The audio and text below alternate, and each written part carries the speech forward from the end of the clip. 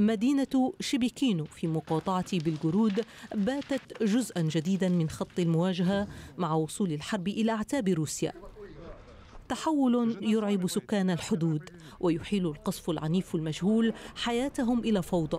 الآلاف نزحوا طوعا وكرها من شبكين المدينة التي يقطنها نحو أربعين ألف نسمة وتقع إلى الشمال من بيلغرود وتبعد عنها بنحو 15 كيلومترا. معظمهم نزح إلى عاصمة الإقليم تاركين وراءهم كل ما يملكون.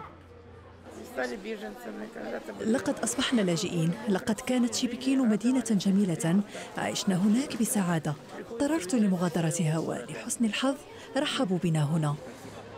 بالسيارات والقطارات والحافلات تجلي السلطات السكان إلى ملاجئ مؤقتة وإلى المساحات الرياضية البعيدة عن الحدود.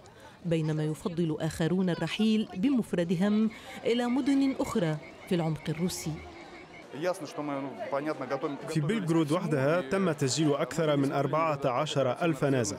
أعتقد أن هذا العدد سيتزايد. كنا نتوقع هذا وكنا على استعداد له. وقد تم بالفعل إنشاء مراكز للمساعدة. مشاهد قصف المباني السكنية المكثف على المدن الحدودية الروسية. لا يختلف كثيرا عن واقع المدن الأوكرانية. سيناريو ربما يعيد رسم المواقف لدى بعض الفئات في روسيا. نحن في نقطة تحول الآن عندما بدأت الحرب عرضها قلة ولكن بعد أيام من القصف على حدودنا بدأ البعض تغيير رأيهم. اعتقدت دائما أننا على حق وأن حكومتنا على حق في أخذ منطقة دونباس لكن روسيا بحاجة إلى القيام بذلك لحماية أراضيها.